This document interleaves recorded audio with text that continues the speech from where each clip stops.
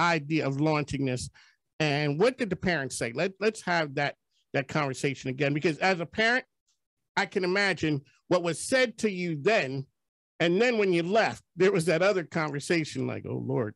Yeah, when when I first told my parents about this idea in 2018, they kind of gave me the "What are you doing? What what what is this idea? What is this type of boat?" Uh, my dad even peppered me with questions about the entire business. Thank God Jack and I had uh, had gone through quite an extensive business plan at that point, so I was able to rail off all the answers. Okay, so we're, we're quick. All right, so Dad starts shooting the questions. Oh yeah, He's feeling pretty good when he starts because he knows you. Yeah. You know, he knows when he has you on the ropes.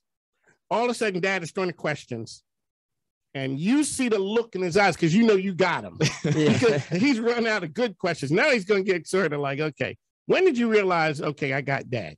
Uh, honestly, when he was peppering me with questions, it was probably like, you know, 10 minutes into this, he was going through every I single aspect, every single aspect. And I was thinking like, wow, dad, you really have started to put some thought in this already yourself. yeah. uh, once, once I was able to nail all those questions, he said, you know what? You've uh, obviously thought this through pretty hard. So, Hey, go for it. Shoot your shot.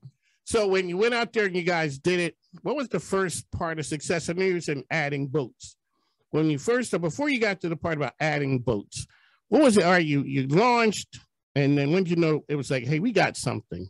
Yeah, I think it was just seeing the reaction from the community one, and then once you see that calendar really start filling up, that's where we knew, all right, we're really on to something here. This might be something where we can go further because now we're actually turning people away because we don't have Which is we don't good. have spots, which is good in its in its own right, I suppose. But uh, we have a wait list on our calendar, and there was a Saturday we were up in the hundreds for different slots. Really? Yeah. So at that point, we were like, all right, we need to build a little fleet here if we're gonna keep everybody drunk and happy.